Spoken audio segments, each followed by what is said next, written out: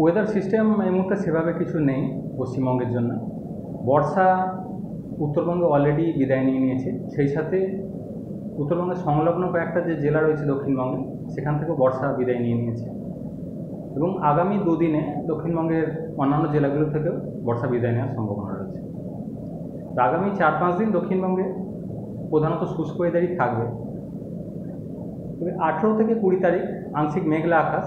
সেই সাথে পশ্চিমের কয়েকটা জেলা যেমন পশ্চিম বর্ধমান, পুরুলিয়া, বাঁকুড়া, ঝাড়গ্রাম, পূর্ব পশ্চিম মেদিনীপুর। এই জেলাগুলো দু এক জায়গায় খুব হালকা ধরনের বৃষ্টির সম্ভাবনা থাকছে। যদিও বৃষ্টিপাতের সম্ভাবনা ইভেন এই জেলাগুলোতেও কমই, খুব অল্প কিছু এরিয়াতে হালকা ধরনের বৃষ্টির সম্ভাবনা থাকছে। সেটাও স্বল্পস্থায়ী, সব জায়গায় হবে।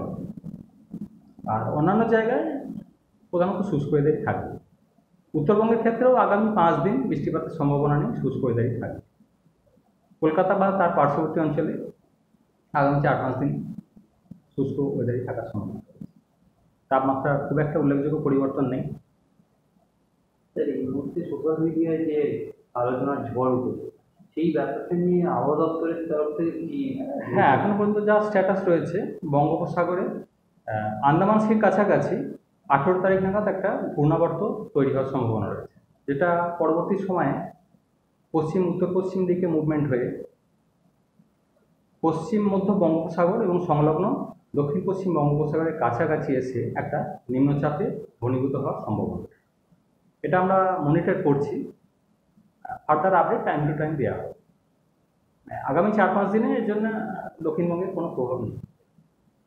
সাধারণ মানুষের জন্য বিশেষ কি থাকবে কোনটার জন্য?